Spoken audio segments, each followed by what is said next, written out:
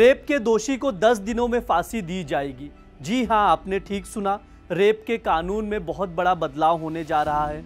आज मुख्यमंत्री ममता बनर्जी पश्चिम बंगाल विधानसभा में एंटी रेप बिल पेश करेंगी। इस बिल में रेप को लेकर कई कड़े प्रावधान शामिल हैं। दरअसल, कोलकाता के आर्जिकल मेडिकल कॉलेज में ट्रेनी डॉक्टर के साथ रेप और फिर उसकी हत्या की घटना से पूरा देश स्तब्ध है। इस तरह की घटनाओं को रोकने के लिए पूरे देश भर में सख्त कानून बनाए जाने की मांग की जा रही है। इसी को ध्यान में रखते हुए ममता सरकार नया कानून बनाने जा रही है।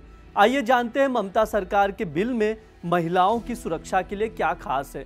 नमस्ते, मेरा नाम ब्रिज द्विवेदी है। आप देख रहे हैं Dainik Jagran.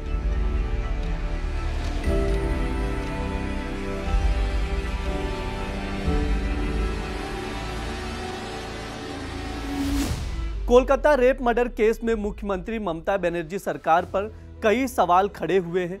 पूरे देश में रेप और मर्डर के आरोपियों के खिलाफ आक्रोश नज़र आ रहा है। डॉक्टर घटना के बाद से ही हड़ताल पर हैं।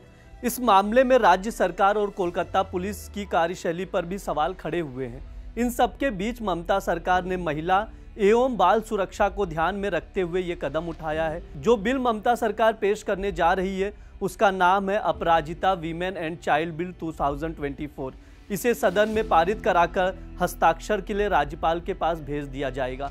सीएम पद से इस्तीफा की मांग करने वाली बीजेपी भी ममता सरकार की तरफ़ से प्रस्तावित एंटी रेप बिल को समर्थन देने के लिए तैयार है। बताया जा रहा है कि प्रस्तावित विधेयक कानून, जाँच और अभियोजन प्रक्रिया में भी बदलाव करता है, जिसके तहत रेप के मामलों की जाँच, शुरुआती रिपोर्ट के 21 दिनों के भीतर पूरी की जानी है। जिसे 15 दिनों तक बढ़ाया भी जा सकता है। इसमें जिला स्तर पर एक स्पेशल टास्क फोर्स गठित किया जाएगा और जिसे अपराजिता टास्क फोर्स कहा जाएगा, जिसका नेतृत्व डिप्टी एसपी लेवल के अधिकारी करेंगे, जो नए प्रावधानों के तहत अपराधों की जाँच करेगा।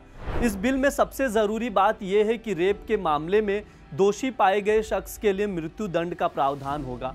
अगर दोषी के कृत्य की वजह से पीड़िता की मौत हो जाती है या वो कोमा में चली जाती है।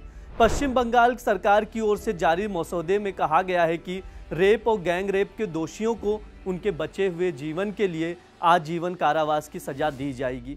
इस बिल का उद्देश्य रेप से जुड़े प्रावधानों में बदलाव करना, महिलाओं और बच्चों की सुरक्षा को मज़बूत करना है।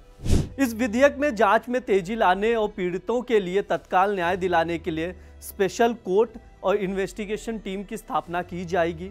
इस अपराजित टास्क फोर्स की यूनिटों में महिलाओं के साथ रेप और महिलाओं के खिलाफ यौन अपराधों के मामलों में प्रभावी ढंग से और समय पर संभालने के लिए ज़रूरी संसाधनों से लैस किया जाएगा, जिससे पीड़िता और उनके परिवार के लोगों को आने वाली परेशानियों को कम किया जा सके। दरअसल, हाल ही में लाए गए भारतीय न्याय संहिता, भारतीय नागरिक सुरक्षा संहिता और यौन अपराधों से बच्चों का संरक्षण अधिनियम 2012 में संशोधन का प्रस्ताव है। इस दौरान पश्चिम बंगाल राज्य में उनके आवेदन में दंड को बढ़ाने और महिलाओं और बच्चों के खिलाफ हिंसा के जघन्य कृत की त्वरित जाँच और सुनवाई के लिए रूपरेखा तैयार करने के लिए है।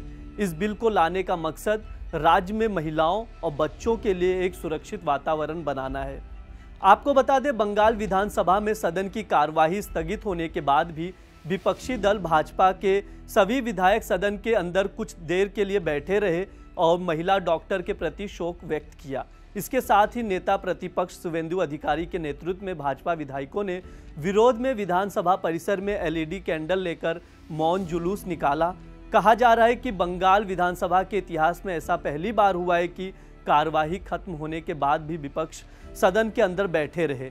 ऐसा इसलिए हुआ क्योंकि विधानसभा अध्यक्ष बीमान बनर्जी ने दो दिवसीय विशेष सत्र के पहले दिन राज्य के दिवंगत पूर्व मुख्यमंत्री बुद्धदेव भट्टाचार्य के साथ शोक प्रस्ताव में महिला डॉक्टर का नाम शामिल करने की भाजपा की मांग को अस्वीकार कर दिया गया था।